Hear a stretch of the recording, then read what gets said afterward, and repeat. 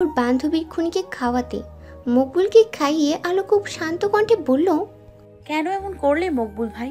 এমনটা না করলে কি খুব ক্ষতি হতো? আল্লাবু আমাকে মাফ করে দিও। কথাটা বলে মকবুল গাছের সাথে হেলান দিয়ে ছলো ছলো চোখে উপরে তাকালো। বৃষ্টির গতি একটু কমেছে।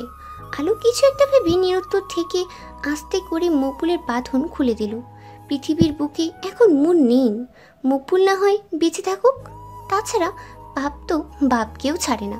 আর মকবুল তো জলজান্ত মানুষ। এছাড়াও রোদও কেন জানি চায় মকবুল বাঁচুক। বাঁধন খোলাতেও মকবুলের কোনো হেলদোল নেই। সে একইভাবে থম মেরেই দাঁড়িয়ে আছে। আলো বৃষ্টির জলে অশ্রু লুকিয়ে নিঃশব্দে কাঁদতে কাঁদতে বলল চলে যান মকবুল ভাই এখান থেকে অনেক দূরে চলে যান। কথাটা বলে আলো অন্যদিকে তাকিয়ে শব্দ করে কাঁদতে লাগল। কষ্টে ওর দম আটকে আসছে। তখন আকস্মিক কিছু দেখে মকবুলের পুরো শরীর থরথর করে কাঁপতে লাগল। সে জোর গলায় কিছু বলার শক্তিটুকুও যেন হারিয়ে ফেলেছে। তবুও সে অনেক কষ্টে এতটুকুই উচ্চারণ করল। চড়ে যাও আল্লাবু চড়ে যাও। ততক্ষণে যা অঘটন ঘটার ঘটে গেছে যেটার জন্য ওরা কেউ প্রস্তুত ছিল না। অনাকাঙ্ক্ষিতভাবে ওদের সঙ্গে ঠিক সেটাই ঘটল।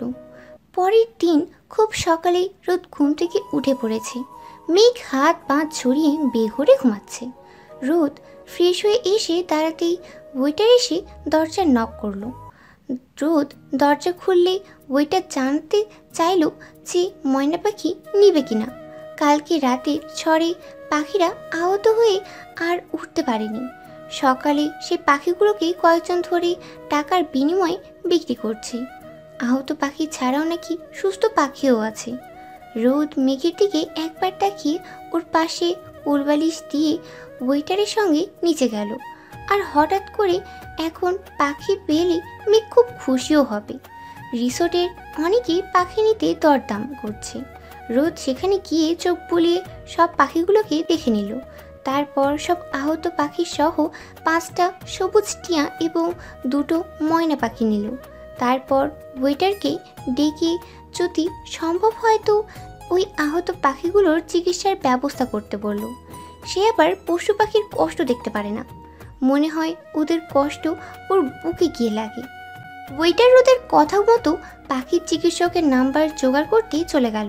রোদের পাখিগুলোর দাম মোট তেরো হাজার সতেরোশো আটত্রিশ টাকা হলো। রোদ পাখি ওয়েটারকে দাম দিয়ে সুস্থ পাখিগুলোকে খাঁচা নিয়ে রুমে চলে গেল। একটু পরে ওরা ঢাকার উদ্দেশ্যে বেরিয়ে পড়বে। তাই রোদ ওদের অপ্রয়োজনীয় জিনিসপত্র ট্রলিতে গুছিয়ে এক পাশে রাখল। ময়না পাখির চি চি শব্দে মেঘের আরামের ঘুমটা ভেঙে গেল। সে বিরক্ত হয়ে চোখ টলতে টলতে উঠে বসল।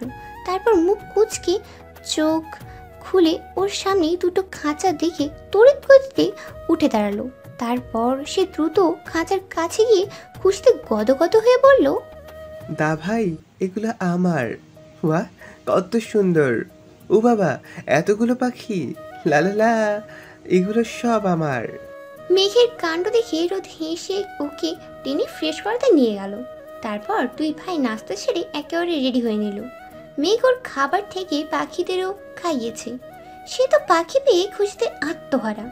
রোদ ওয়েটারকে ডেকে ওদের ট্রলি আর পাখিগুলোকে নিচে নিয়ে যেতে বলল। তারপর সে সব দেখে শুনে মেঘের হাত ধরে আস্তে ধীরে নিচে নামল।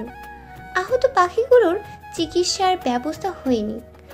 রোদ ওই পাখিগুলোকে সাবধানে ওদের সঙ্গে নিল। তারপর রিসেপশনে রুমের চাবি আর যাবতীয় বিল পরিশোধ করে ওরা বেরিয়ে পড়ল। রোদকে পুনরায় ব্যস্ত শহরের কর্মচঞ্চল জীবনেই ফিরতে হচ্ছে। প্রাকৃতিক নির্মল বায়ু ছেড়ে ওকে পূর্বের মতো আবার দূষিত বায়ু শরীরে মাখতে হবে। প্রাণ ভরে নিঃশ্বাস নেওয়ার বদলে যানজট আর হাজারো ব্যস্ততার ভিড়ে দীর্ঘশ্বাসকে সঙ্গী করতে হবে। সময়ের সংকটে হয়তো এভাবে আর বৃষ্টির নৃত্যও উপভোগ করতে পারবে না। হুম, ঢাকাতেও বৃষ্টি হয়, তবে ঢাকার আর এখানকার বৃষ্টি দেখতেও বেশ কয়েকটা ভিন্নতা রয়েই যায়। মনে হয় এখানকার বৃষ্টি প্রাণপূর্ণ আর ঢাকার বৃষ্টি গুমর ধরা। এমন খোলা আকাশ, পাহাড়, রক্তিম সূর্য, সবুজের সমারোহ, আবার দেখা হবে কি না তাও জানা নেই। আর আর সেই সরল মনের মিষ্টি মিটা ওর সঙ্গে কি আদৌ দেখা হবে? আচ্ছা সে কি ওদেরকে মনে রাখবে?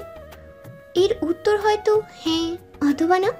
মানুষ জীবন চলতে থাকে তার আপন গতিতে। আর ছোট্ট এই জীবনে প্রতিনিয়ত কত শত মানুষের সঙ্গে দেখা সাক্ষাৎ হয়। কথা হয়, আবার সময় পেরোলে তাদের ভুলেও যায়। তেমনি আলোর নামের মেয়েটির কথা সেও কি ভুলে যাবে? সত্যিই কি ভোলা যাবে? তার স্বার্থটাই কি সাহায্যের কথা? তার সরল মায়াবী মুখ আর মিষ্টি হাসির কথা? নাকি ওর কথা কারও স্মৃতির পাতায় বন্দি হয়ে মনের এক কোণে জমা থেকে যাবে? যদি এভাবেও থাকে, তো থাকুক না, মন্দ কি তাতে? রোদ, গাড়িতে বসে এসব কথা ভেবে মেঘের দিকে তাকালো। মেঘ মন ভার করে ঘাড় ঘুরিয়ে এদিক ওদিক তাকাচ্ছে। হয়তো আলোকে খুঁজছে? তখন ওদের গাড়িটা চলতে শুরু করল নির্দিষ্ট পথের উদ্দেশ্যে। রিসোর্ট ছেড়ে একটু সামনে এগোতেই ভিড়ের কারণে ওদের গাড়িটা থেমে গেল। অনেক গাড়ি আর এতগুলো মানুষের জটলায় রাস্তা ব্লক হয়ে গেছে। রোদ ব্যাপারটা বোঝার জন্য জানলা দিয়ে মাথা বের করে বাইরে তাকালো। হইচইয়ের কারণে তেমন কিছু বোঝা গেল না। বেশ কিছুক্ষণ পর ড্রাইভার খুব বিরক্ত হয়ে পাহাড়ি ভাষায় বললেন এই চুতির ভাই সামনে থেকে সর নাইলে তোদের উপরে দিয়া গাড়ি চালাই দিমুনে ওনার গালি শুনে রোদ আর চোখে একবার মেঘের দিকে তাকিয়ে কথা বাড়ালো না। এখন এই বিষয়ে কথা বাড়ালেই মেঘ গালিটা বুঝে ফেলবে। এবং জিজ্ঞাসা করবে এটার মানে কি? কিন্তু ড্রাইভারের গালি শুনে একজন পাহাড়ি যুবক তীরে এসে বলল তুপ সালা বেশি কথা কইলে তোরে ওই পাহাড়ের নিচে পুঁতি দিমো। চুপ হারাম দাদা। এই নিয়ে দুজনের মধ্যে কথা কাটাকাটি হতে হতে হাতাহাতি শুরু হয়ে গেল। রোদ কোনো রকম ওদের থামিয়ে ওই যুবককে সুন্দর করে জিজ্ঞাসা করল ভাই রাস্তাটা জ্যাম কেন? আসলে হয়েছেটা কি? যুবকটা রোদকে ভালো ভেবে পরক করে লুঙ্গিতে কাছা মেরে বলল মেলা বৃষ্টির কারণে পাহাড়ের মাটি নরম হয়ে ধসে গেছে। পাহাড়ের নিচে মানুষলা সেই মাটির নিচে চাপা পড়েছে। ওদেরই লাস্টলিতে এসব গালি যাতেছে। যুবকটার এই কথা শুনে রোদের বুকটা মোচড় দিয়ে উঠল। সে আবার প্রশ্ন ছুড়ে দিল কোন পাহাড়? এই রাস্তা ধরে খানি খেটে ওই সামনের নামেল মেলা উঁচু পাহাড়টা। আলোর বাড়ির পিছনের উঁচু পাহাড়টার নাম বলে যুবকটা স্থান ত্যাগ করল। এই কথা শুনে রোদ পুরো হতভম্ব হয়ে গেল। কয়েক সেকেন্ডের জন্য ওর সচল মস্তিষ্ক কাজ করা বন্ধ করে দিল। সে কিছুক্ষণ থম মেরে ড্রাইভারকে দ্রুত গাড়ি ঘুরিয়ে রিসর্টের সামনে যেতে বলল। রোদের আতঙ্কিত কণ্ঠ শুনে উনি আর কিছু বলার সাহস করলেন না। দ্রুত গাড়ি ঘুরিয়ে রিসর্টের সামনে চলে গেলেন। রোদ মেঘকে নিয়ে গাড়ি থেকে নেমে দ্রুত হেঁটে রিসেপশনিস্টের সামনে চলে গেল। ওদের রুম এখনও বুক হয়নি। সে খোঁজ নিয়ে পুনরায় ওই রুমটা নিল এবং পাখির খাঁচা আর ট্রলি ওয়েটারকে রুমে রাখতে বলে দ্রুত বেরিয়ে গেল। কাউকে কিছু বলার সুযোগটুকুও দিল না। অবুজ মেঘ এসবের কিছু বুঝতে পারছে না। তবে আন্দাজ করতে পারছি কিছু একটা হয়েছে। না হলে দা ভাই এত তাড়াহুড়া করতো না। রোদ মেঘকে নিয়ে আলোর বাড়ির রাস্তা ধরে সাবধানে হাঁটতে লাগল। এখনও গুড়ি গুড়ি বৃষ্টি হচ্ছে। প্রকৃতি কী কারণে আজ এত রুষ্ট, কে জানে? আকাশেও ঘন কালো মেঘ জমেছে। যখন তখন বৃষ্টির গতি আরও বাড়তে পারে। বৃষ্টির কারণে কাদা পানিতে রাস্তার একাকার অবস্থা। হাঁটাও যাচ্ছে না ঠিকমতো। এত কাদার মধ্যে মেঘ রোদের সাথে তাল মিলিয়ে হাঁটতে পারছে না। বারবার পা পিছলে যাচ্ছে। তাই মেঘ হঠাৎ দাঁড়িয়ে গিয়ে মুখ কাঁচুমাচু করে বলল দা ভাই আমি তোমার সাথে হাঁটতে পারছি না। একটু আস্তে চলো না আমার হাঁটতে খুব কষ্ট হচ্ছে।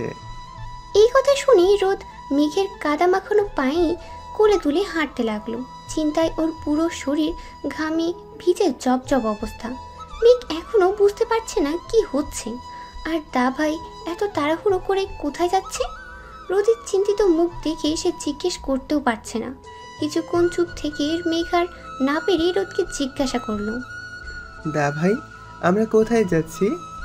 রোদ মেঘের দিকে একবার এক পলক তাকিয়ে থমথমে গলায় বলল যে পাহাড়ের নিচে তোমার বৌমনির বাড়ি সেই পাহাড়টা কালকে রাতে ধসে গেছে। আর বাড়িগুলো পাহাড়ের মাটির নিচে চাপা পড়েছে। এই কথা শুনে মেঘ অবাক হয়ে তাকিয়ে ঢোক গিলে কান্নারত কণ্ঠে বলল দা ভাই বৌমনি কি তাহলে মরে গেছে? কথাটা বলে মেঘ রোদের গলা জড়িয়ে ধরে ফুপিয়ে ফুপিয়ে কাঁদতে লাগল। রোদ ওকে কত কি বুঝিয়েও থামাতে পারছে না। এভাবে গেলে ওরা ওখানে পৌঁছাতে পারবে না। বৌমনির খবরও জানা হবে না। তাই মেঘ রোদের কোল থেকে নেমে দ্রুত হাঁটতে শুরু করল। তারপর কিছুক্ষণ হেঁটে ওরা ওখানে পৌঁছে যা দেখল, তাতে রোদ আর মেঘ দুজনে হতবম্ব হয়ে দাঁড়িয়ে গেল। পাহাড়ের এক পাশ ধসে ছোট গ্রামটার ওপর পড়েছে, যার কারণে গ্রামের মানুষদের ব্যাপক ক্ষয়ক্ষতি সহ অনেকে প্রাণ হারিয়েছে। চারদিকে অসহায় মানুষগুলো আত্মীয় স্বজন হারিয়ে মাটিতে লুটিয়ে পড়ে আত্মনাদ করে কাঁদছে।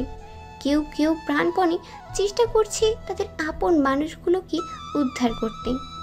কালকে রাতে কয়েকজন পাহাড়ের ভেজা মাটির নিচে চাপা পড়েছে। এখন তাদের মৃত লাশ টেনে বের করা হচ্ছে। সারি সারিভাবে অনেক লাশ শুয়ে রাখা হয়েছে।